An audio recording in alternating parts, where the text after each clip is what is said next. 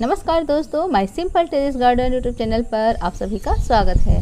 तो दोस्तों, वीडियो की शुरुआत करते हैं हम इन सुंदर सुंदर फूलों के साथ। और ये मेरा वाइट हिबिस्कस का प्लांट है और यह प्लांट मैंने पिछले ही वर्ष कटिंग से ग्रो किया था और अभी यह प्लांट काफ़ी घना और बड़ा हो गया है और आप इसमें फ्लावरिंग देख सकते हैं। दोस्तों, यह हमारा फार्म वाला गार्डन है और यहाँ अरहर के प्लांट लगे हुए हैं। तो आज के वीडियो में मैं आपको दिखाना चाहती हूँ कि हमने अपने इस फार्म वाले गार्डन में कौन कौन से प्लांट लगाए हुए हैं। दोस्तों, आपसे रिक्वेस्ट है कि आप वीडियो को अंत तक ज़रूर देखें और यदि आपको यह वीडियो अच्छा लगे तो प्लीज़ लाइक, शेयर, सब्सक्राइब ज़रूर करें और बेल आइकन बटन को प्रेस करना ना भूलें ताकि मेरे आने वाली वीडियो की नोटिफिकेशन आपको मिलती रहे। दोस्तों, यहाँ आंवला का पेड़ लगा हुआ है और इसे हमने इसी वर्ष जून के महीने में लगाया था। और अभी आप इसकी ग्रोथ देख सकते हैं। इसके जो ब्रांच है, वो लेगी लेगी से हो गए हैं। और यहाँ पर पपीता का पेड़ लगा हुआ है और अब इसमें भी फ्रूट्स आने स्टार्ट हो गए हैं। यहाँ पर एक और आंवले का पेड़ लगा हुआ है और इसे भी हमने जून के महीने में ही लगाया था। और आप देख सकते हैं, इसकी ग्रोथ काफ़ी अच्छी हो रही है। और इसके जो ब्रांच हैं, वो काफ़ी लंबे लंबे हो गए हैं।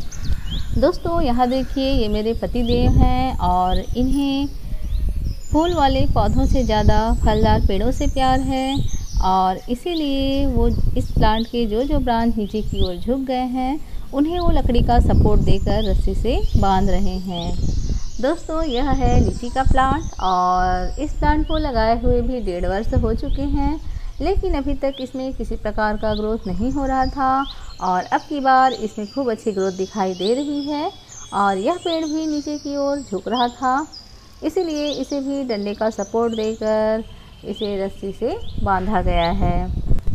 दोस्तों, यह नींबू का पेड़ है और इसमें इंसेक्ट का अटैक बहुत ज़्यादा होता है और फार्म में होने के कारण हम इसकी ज़्यादा केयर नहीं कर पाते।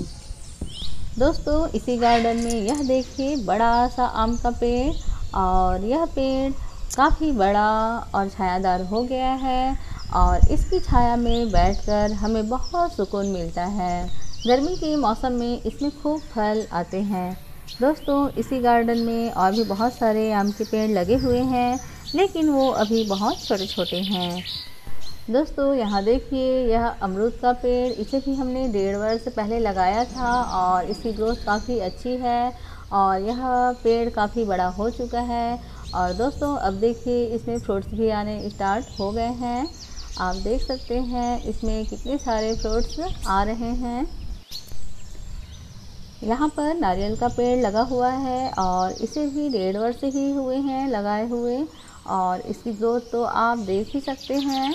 और इसकी जो पत्तियाँ हैं, वह मुझे बहुत ही अच्छी लगती हैं। इसकी कटीली कटीली पत्तियाँ बेहद ही आकर्षित लगती हैं। दोस्तों, यह लंगड़ा आम का पेड़ है और इसके जो सभी ब्रांच हैं लेगी लेगी से होते हैं। आप देख सकते हैं, इसके सभी ब्रांच किस तरह से लटक रहे हैं, ये नीचे की ओर। और इन्हें हम चाहे कितना भी सपोर्ट देने की कोशिश करें, बांधने की कोशिश करें, फिर भी इसके सभी ब्रांच नीचे की ओर लटक जाते हैं। और देख सकते हैं, इसे नीचे से एक लकड़ी के सपोर्ट से बांधा गया है। और इसका जो मेन ब्रांच है, वह भी काफ़ी लेगी सा है और उसे सीधा रखने के लिए ही सपोर्ट दिया गया है। और यहाँ पर एक और आम का पेड़ लगा हुआ है। दोस्तों, देख सकते हैं, अभी इसमें ग्रोथ स्टार्ट हुई है। इसके जितने भी पहले के ब्रांच थे, उसमें से अब देखिए कितने सारे नए नए ब्रांच निकल रहे हैं।